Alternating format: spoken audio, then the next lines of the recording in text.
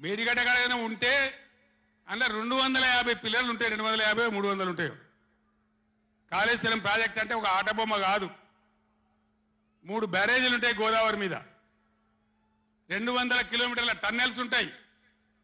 పదిహేను వందల కిలోమీటర్ల కాలువ ఉంటుంది. ఒక పంతొమ్మిది సబ్స్టేషన్లు ఉంటాయి.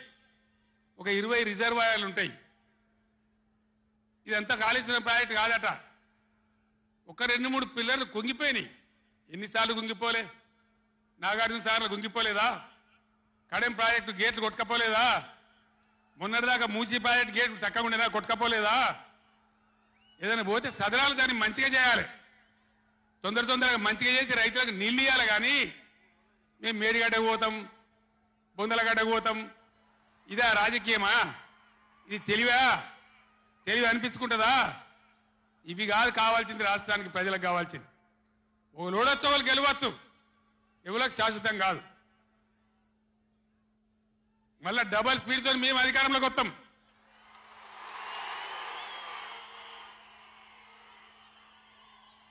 అప్పుడు మేం గిట్లే మాట్లాడన్నా ఈ పద్ధతి అనుసరించానా?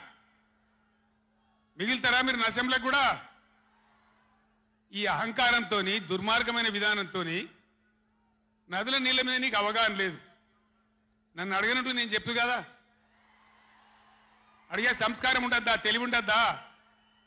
అన్నా ఏం దగ్గర ఇట్లా అంటాను కేఆర్ఎంపీకి అప్పచెప్పమంటాను ఏం చేయాలి? ఈ పొన్నాల లక్ష్మయ్య గారు ఉన్నాడు. హరీష్ రావు ఉన్నాడు. నేనున్నా ఒక కడియం సిఆర్ ఉన్నాడు. నీళ్ళ మీద పనిచేసిన వాళ్ళు ఉన్నారు. ఎవరిని అడిగినా చెప్తుంటాం కదా మీకు తెలివి లేకపోతే. అప్పచెప్పుడు ఆగమవుడు బడ్జెట్ ఆపి తీర్మానం పెట్టుడు. నేను ఒక్కటే మాట మీతో చెప్తున్నా దయచేసి. నిన్న కూడా అన్న నాతో హైదరాబాద్లో. సార్ అసెంబ్లీలో తీర్మానం అయిపోయింది కదా ఇంకా నల్గొండ చెలో నల్గొండ ఎందుకని? అసెంబ్లీలో తీర్మానంతో అయిపోదు. చెలో నల్గొండతో కూడా అయిపోదు. దయచేసి ఎప్పటికప్పుడు కృష్ణా నదిలో కృ- ట్రిబ్యునల్లో మన వాటా తేలే వరకు న్యాయమైన వాటా తేలే వరకు మన నీళ్ళ హక్కులు మనకు దక్కే వరకు ప్రతి సందర్భంలో ఈ ఐదు జిల్లాల ప్రజలు కృష్ణా పరివాహక ప్రాంతంలో ఉన్న ఐదు జిల్లాల ప్రజలు ఎప్పటికప్పుడు మనం పోరాడడానికి సిద్ధంగా ఉండాలి. ఈ సభ పెట్టి నుంచి చెప్తేనే ప్రజలకు అర్థమవుతుందనే ఉద్దేశంతో నేను మీ అందరినీ శ్రమ పెట్టేయాలి ఈ సభ పెట్టిన తప్ప ఇది రాజకీయ సభ కాదు. ఇలా ఏ ఎలక్షన్ లేదు.